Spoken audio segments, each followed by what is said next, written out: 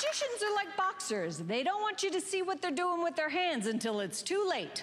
Let's see who's going toe to toe with Penn and Teller this round. I'm Doc Dixon. I'm from Atlanta, Georgia. I'm a comedy magician. When I was a teenager, I worked as an emergency medical technician on the local ambulance service. I decided eventually to pursue magic as my career path, but the nickname stuck. Being an EMT, the stakes can be life or death. Being a magician, the stakes can be it wasn't the three of clubs.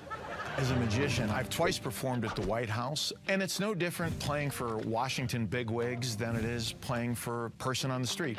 People are people, and the appeal of magic is universal. Penn and Teller have seen some huge magic on Fool Us. I'll be bringing the smallest trick that's ever been brought to the Fool Us stage. Penn and Teller, it's time to play the game.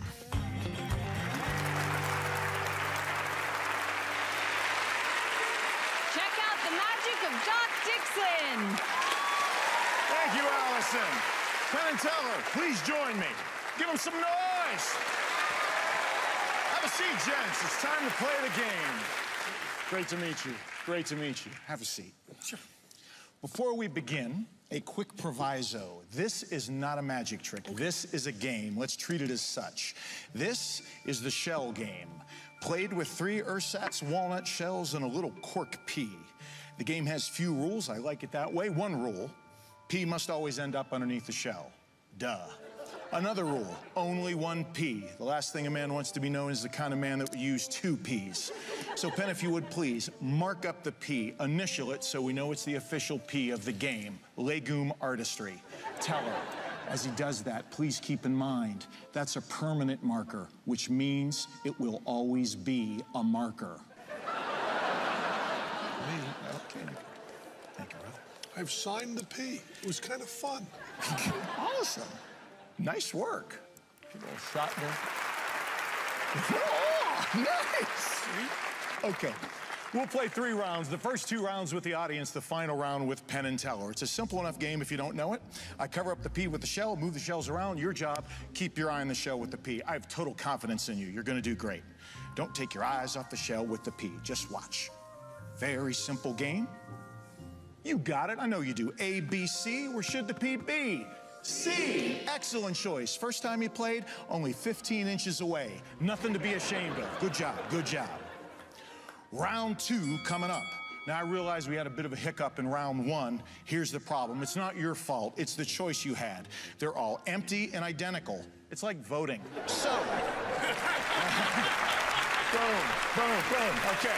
So, to keep things on the up and up, I'll put a sticker on the shell with the P. Now, you follow that sticker, you're gonna be winner, winner, chicken dinner. Okay, follow the sticker. Keep your eye on the sticker. You're gonna do a great job. Doesn't matter how fast or slow, follow the sticker. Look! Where's the. No, no, no, the sticker. The sticker, right there. Round three. Thank you. Round three coming up. I played this game thousands of times. Never been more excited to play it with you two guys. Thank you. The honor's mine. Thanks. The P is right there. The glass goes on top of the shell. The cup goes on top of that. Teller, please do me a favor. Hold a finger in the air like you just don't care. Thank you. Put her right there. I'll keep these bad boys back here. Here we go.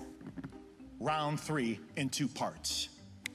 The P just vanished from underneath the shell, the glass, the cup, the sticker, your finger. It's gone. Please remove your finger. No, no, the finger, please. I'll talk to him later. And now, part two. The P will end up in one of the other shells, but the question is which one? Now, I don't want you to announce your choice. This is a gentleman's game.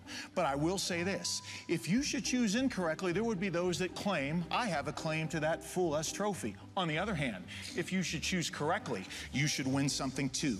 You will win all the money in the wallet of some guy I bumped backstage. oh, Mike Close, good man. Here we go. The P has left the cup, left the shot glass, left the shell, gone.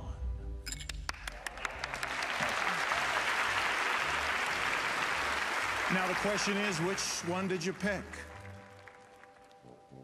Gone. Now, I realize there's a portion of the audience that thinks I just cheated. I refer to that portion as everyone.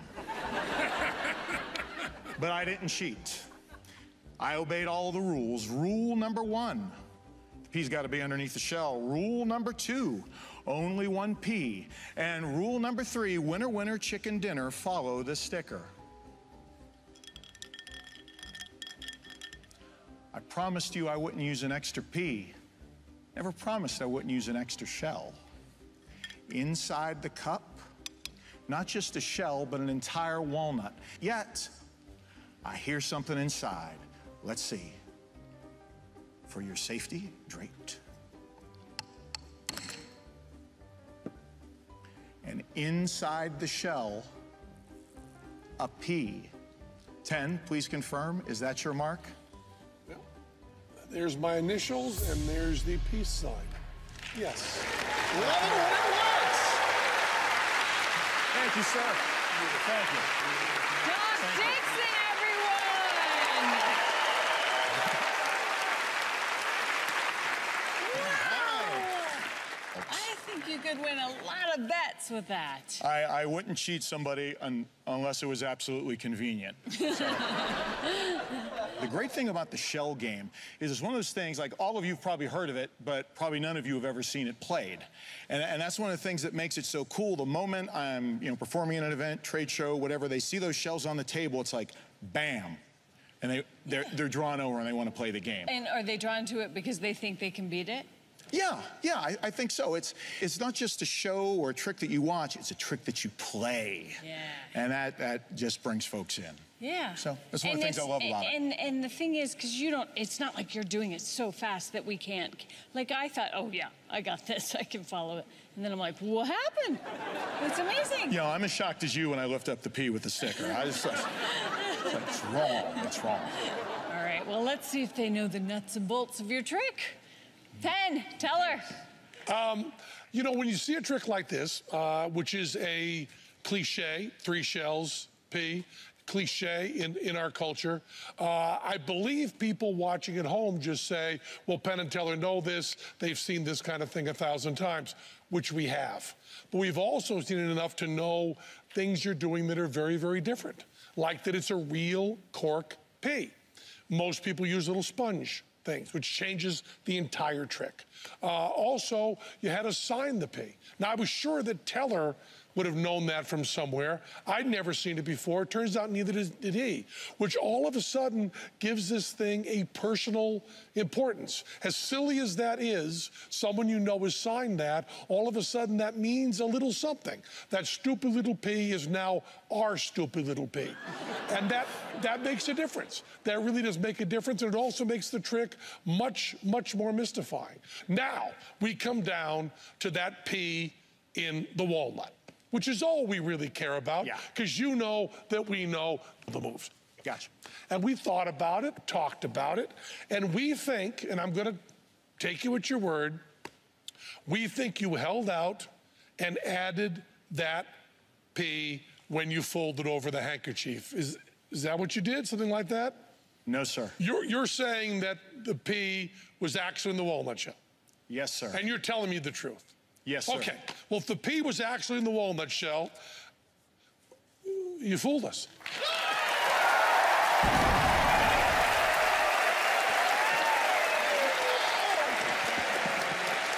What a great routine. Great routine. Oh, thank you. Great routine.